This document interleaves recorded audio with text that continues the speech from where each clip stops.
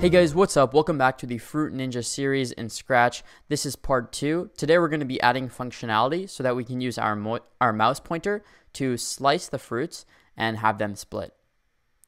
So the first thing we need to do is drag in a when I start as clone and we're going to check if this is the unsliced fruit. And the way to do that is to use the same block of code, uh, of code if clone type equals fruit.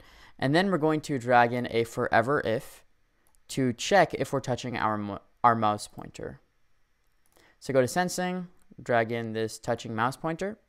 Um, and what we're going to do is spawn the other slices of the fruit and the splat in the back as well, just like in the real game. So like there'll be the fruit juices that kind of spurt out when you slice the fruit.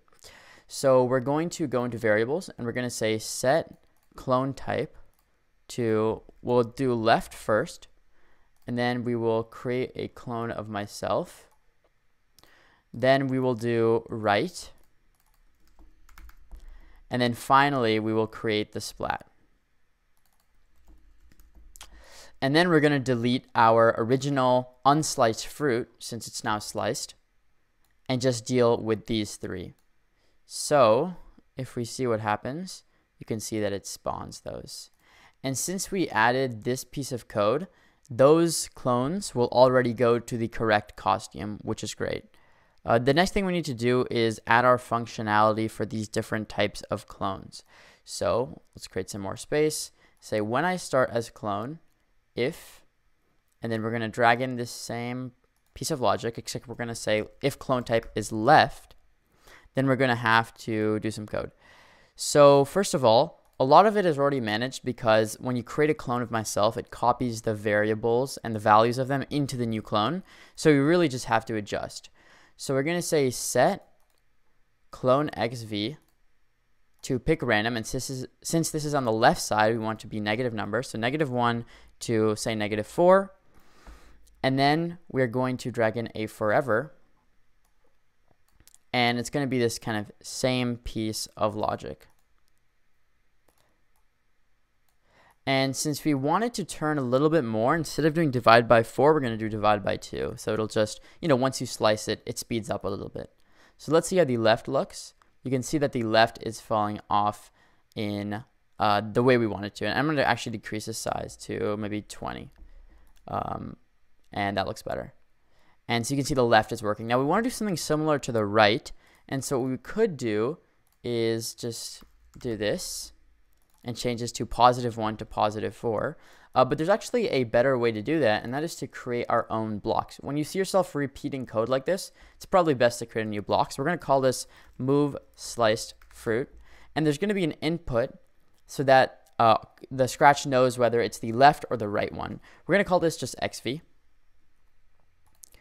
And you'll be able to control whether we want the slice to go left or right with that uh, parameter right there. So we're going to put this here um, and we're going to do pick random for 1 to 4. And then use the multiplication operator.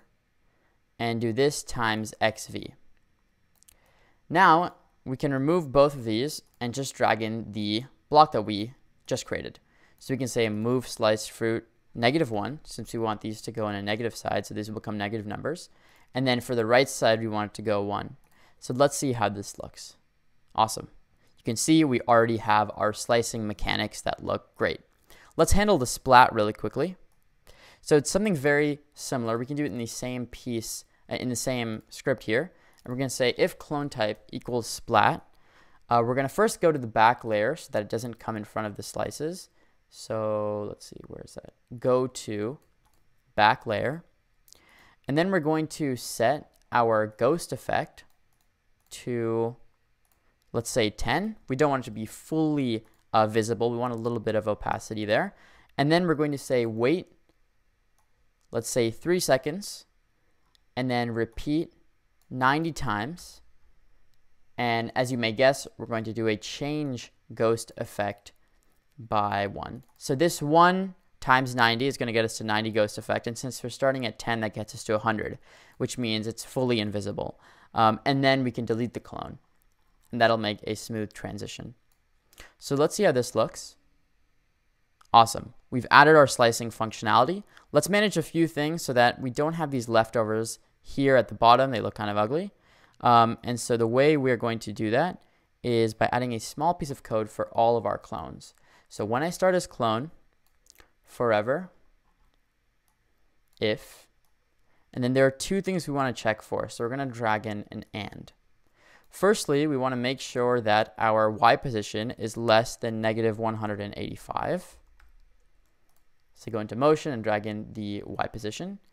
And we want to make sure that our um, yv is less than 0. And the reason we want to make sure this is happening is that obviously there are going to be two times when our fruit is at the bottom. One when it's getting launched and the other when it's falling. We want to make sure that it's falling and at that time we delete the clone. So that so to do that, to check for that, we're going to say and clone yv is less uh, than 0, I believe. And then, so basically it's going to be negative, meaning it's falling. Then we just delete this clone. And with that piece of code, I think our logic should be taken care of. And you can see that it is working. And the slices will disappear. Let's add a background as a last thing for this part. So we're going to upload backdrop. And I'm going to use this backdrop.png. And yeah, we now have a backdrop, we have splats, we have slicing, and it's looking pretty good so far. I will see you guys in part three where we will build out more of the game. See you guys there. Peace.